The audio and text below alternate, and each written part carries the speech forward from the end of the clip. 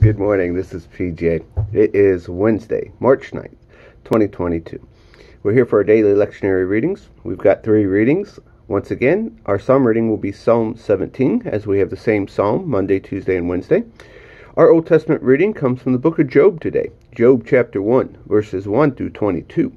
And then our New Testament reading today comes from the Gospel of Luke, chapter 21, verse 34 and we go through chapter 22, verse 6.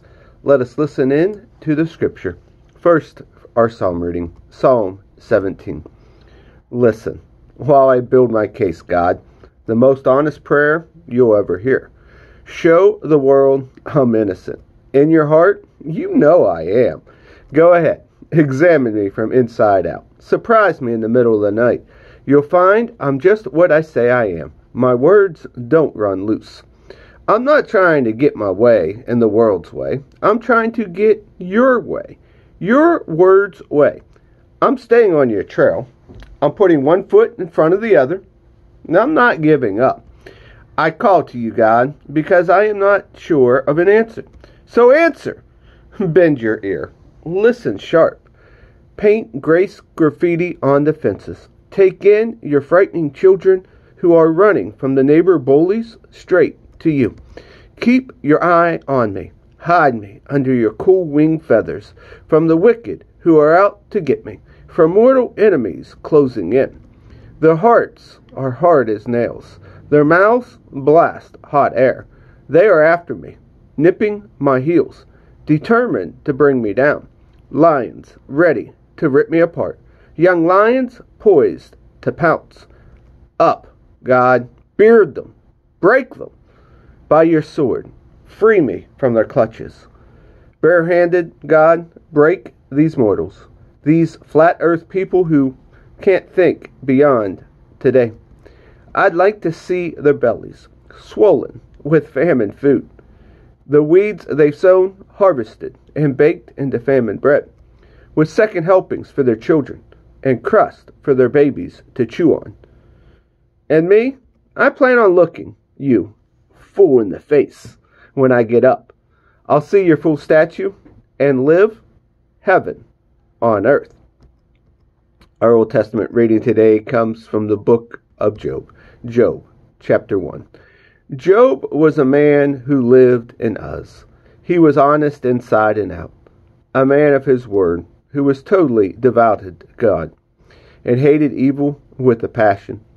He had seven sons and three daughters. He was also very wealthy 7,000 head of sheep, 3,000 camels, 500 teams of oxen, 500 donkeys, and a huge staff of servants, the most influential man in all of the East. His sons used to take turns hosting parties in their homes, always inviting their sisters to join them in their merry making. When the parties were over, Job would get up early in the morning and sacrifice a burnt offering for each of his children, thinking, Maybe one of them sinned by defying God inwardly. Job made a habit of this sacrificial atonement, just in case they sinned. One day, when the angel came to report to God, Satan, who was the designated accuser, came along with them. God signaled out Satan and said, What have you been up to? Satan answered God, going here and there, checking things out on earth. And God said to Satan, Have you noticed my friend Job? There's no one quite like him, honest and true to his word, totally devoted to God and hating evil. Satan retorted, So do you think Job does all of that out of the sheer goodness of his heart? Why, no one ever had it so good. You pamper him like a pet Make sure nothing bad ever happens to him and his family or his possessions. Bless everything he does. He can't lose.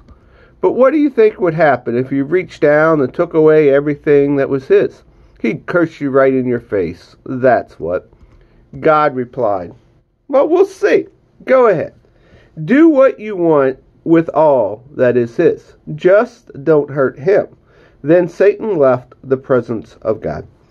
Sometime later, while Job's children were having one of their parties at the home of their oldest son, a messenger came to Job and said, The oxen were plowing and the donkeys grazing in the field next to us when the Sabeans attacked.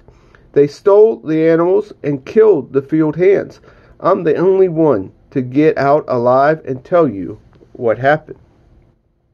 And while he was still talking, another messenger arrived and said, Bolts of lightning struck the sheep and the shepherds and fried them, burned them to a crisp. I'm the only one to get out alive and tell you what happened. While he was still talking, another messenger arrived and said, Chaldeans coming from three directions raided the camels and massacred the camel drivers. I'm the only one to get out alive to tell you what happened.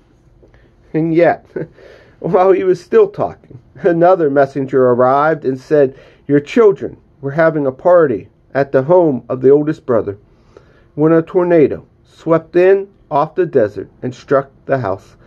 It collapsed on the young people and they died.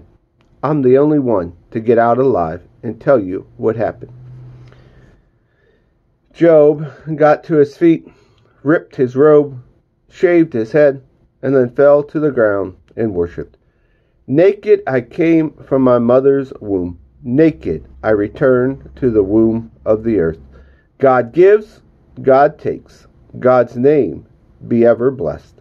Not once through all of this did Job sin. Not once did he blame God. Our New Testament reading today comes from the Gospel of Luke. Chapter 21, verse 34 is where we start. And we go through to chapter 22, verse 6. But be on your guard. Don't let the sharp edge of your expectation get dulled by parties and drinking and shopping. Otherwise, that day is going to take you by complete surprise. Spring on you suddenly like a trap, for it's going to come on everyone, everywhere, at once. So, whatever you do, don't fall asleep at the wheel. Pray constantly that you will have the strength and wits to make them through everything that's coming and end up on your feet before the Son of Man.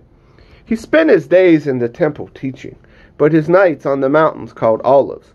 All the people were up at the crack of the dawn to come to the temple to listen to him. The feast of the unleavened bread, also called the Passover, drew near. The high priest and religious scholars were looking for a way to do away with Jesus, but fearful of the people. They were also looking for a way to cover their tracks. That's when Satan entered Judas the one called Iscariot. He was one of the twelve.